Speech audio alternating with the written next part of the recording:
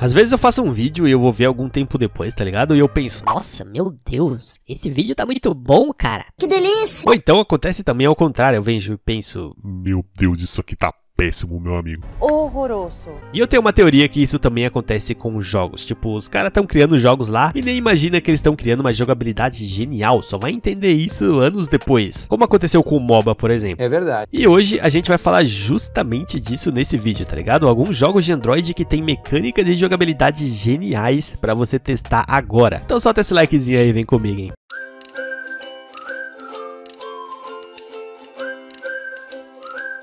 E bom, vamos começar com esse jogo aí, ele tá lá na Play Store, só que ele é pago, tá ligado? Sim, essa é a parte ruim desse vídeo, vai ter um monte de jogo pago. Não acredito, mano. Mas esse aí é o Tiny Guardians. E como você pode ver, graficamente ele é bem ruinzinho. Mas, meu amigo, a gente tá falando aqui de jogabilidade, tá ligado? Então no jogo você tem esse caminho que você precisa andar sobre ele, tá ligado? Só que enquanto você tá andando nesse caminho, vai aparecendo vários monstros pra você derrotar. O problema é como você vai fazer isso. Quanto mais monstros você derrota, por exemplo, mais alma você ganha que você consegue invocar mais heróis.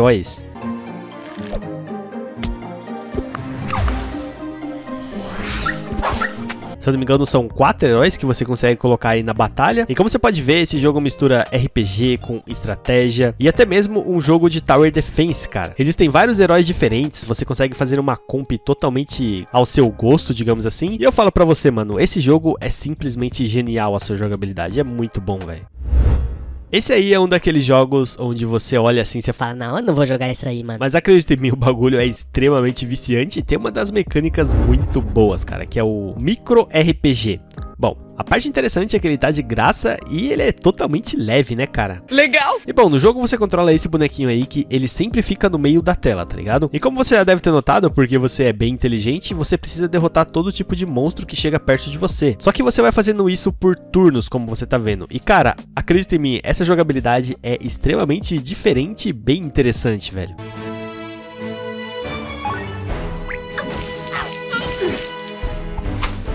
Quanto mais difícil o jogo vai ficando, mais você vai vendo que a jogabilidade é boa, tá ligado? E acredita em mim, velho, ele fica melhor. Tipo, dá pra você colocar ali o seu bonequinho usando um arco que vai pegar uma barreira diferente da espada, tá ligado? E eu falo pra você, esse jogo é simplesmente genial, mano. O bagulho é muito bom. Esse jogo aí é bem famoso, mas muita gente não nota que, e, sim, cara, ele é bem genial o jeito que ele foi feito, tá ligado? Que é o Evoland. E bom, nesse caso a gente pode falar do Evoland 1 ou do Evoland 2. E bom, o jogo ele é um RPG, como você tá vendo, em pixel, né? É bem feinho até. Realmente. E a grande pegada desse jogo é que ele tem todos os RPGs dele dentro dele. Então, por exemplo, você tem ali desde o Action RPG, onde é literalmente você dando espadadinha ali no monstro, como você também tem alguns jogos de é, RPG em turnos.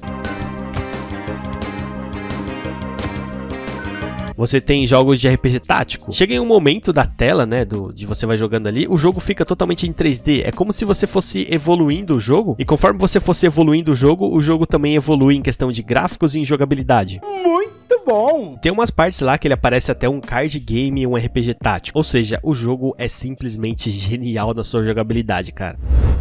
Esse é um dos únicos jogos aqui da nossa lista em que ele é online, tá ligado? E ele é um RPG e o seu nome é Alchemist Stars. Bom, tirando todo o, o RPG dentro do jogo, que assim é simplesmente genial, como todo outro RPG é, mobile também, né? Como por exemplo, você tem gacha, o modo história, tudo isso. Esse jogo diferencia bastante pela sua gameplay, cara. Então, como você tá vendo, você tem esse monte de quadradinho e você só pode andar no quadradinho que você for a primeira vez. Então, por exemplo, tem um quadradinho amarelo, você só pode andar no amarelo. O azul, você só pode andar no azul. Agora eu entendi. E por mais que possa parecer bem bestinha, cara, acredita em mim que em partes mais avançadas do jogo, ou até mesmo em modo PVP, tá ligado? O jogo é literalmente um jogo de xadrez, cara. Porque assim, você precisa pensar muito bem a, su a sua jogada ali, né? A movimentação que você vai fazer com o seu personagem. E é por isso que esse jogo é um dos mais famosos lá na Ásia. Mano, os caras adoram esse jogo lá, mano.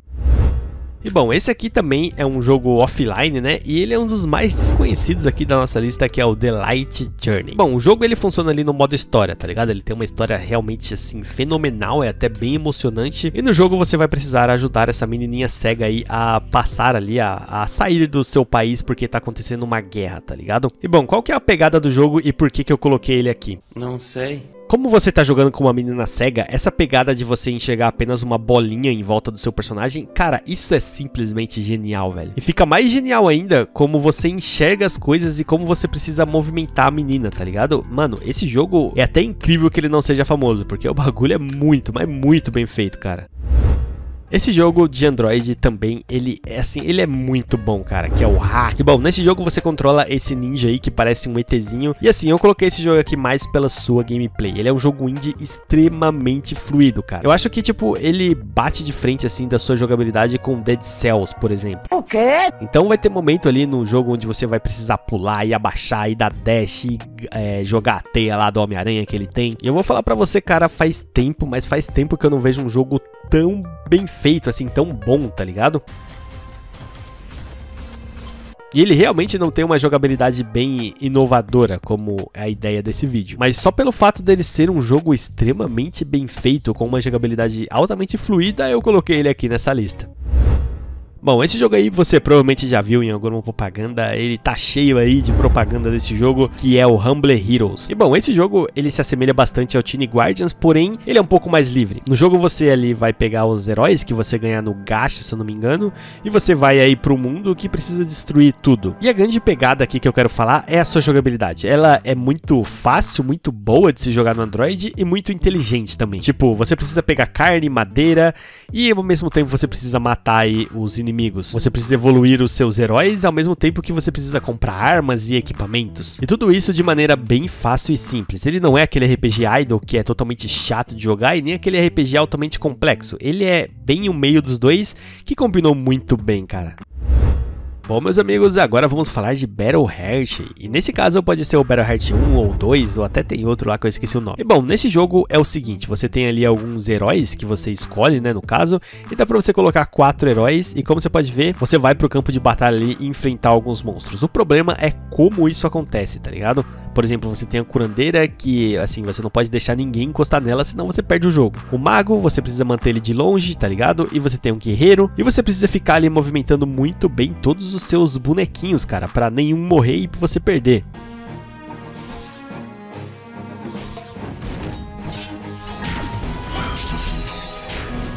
E eu não sei nem qual categoria eu encaixaria esse jogo, se fosse no RPG ou no jogo de estratégia, mas a verdade é que ele é extremamente viciante e muito, mas muito bom mesmo.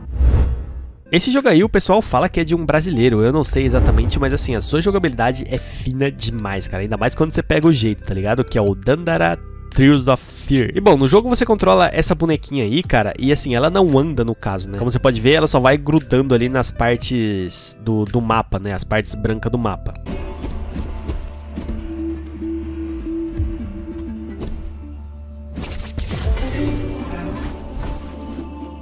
E por mais que isso possa parecer estranho, meu amigo, isso te dá uma liberdade de uma jogabilidade sensacional, cara. No começo do jogo você pode ficar um pouco perdido, tá ligado? Mas depois que você aprende a jogar, aprende a bater e fazer todos os negócios, você fica extremamente viciado. E eu vou falar pra você, é muito satisfatório jogar, ainda mais quando você faz um combo mirabolante, velho. E bom, vamos no primeiro lugar aqui com um jogo. Esse, esse jogo é aquele jogo que eu fiquei super viciado, tá ligado? E como você pode ver, ele parece ser bem simples e o seu nome é Daggerhood. E assim, eu posso falar pra você que sim, ele é bem simples. Porém, uma mecânica dele chama bastante atenção, que é o negocinho da espada, cara. Ele literalmente vira aquele personagem do Naruto, que eu acho que é o pai do Naruto, o Yamato, que joga a espada e se teleporta pra ela, tá ligado?